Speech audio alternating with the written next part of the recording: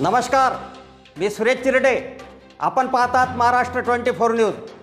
Digras येथे आज पाच पॉझिटिव्ह पुन्हा दोन डॉक्टर पॉझिटिव्ह पॉझिटिव्हची संख्या पंधरावर. आज दिनांक वीस ऑक्टोबर रोजी दिग्रस येथे पाच पॉझिटिव्हची नोंद झाली. दिनांक सत्तावीस व अठ्ठावीस ऑक्टोबरचे रिपोर्ट प्राप्त झाले. यामध्ये होलटेकपुरा शरी मंदिरजवळ एक पॉझिटिव्ह आहे.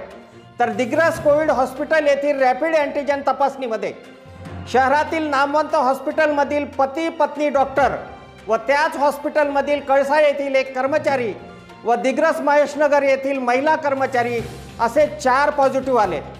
आजच्या पाच पॉझिटिव्हमुळे पॉझिटिव्हची संख्या पंधरावर पोहोचली आहे.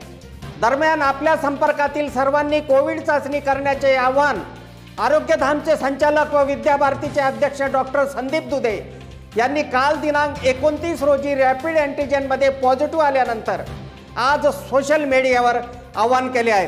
अफजल खान ऋषिकेश शिराजसह मी Suresh Chirte Maharashtra twenty four news Digras Yavatmal.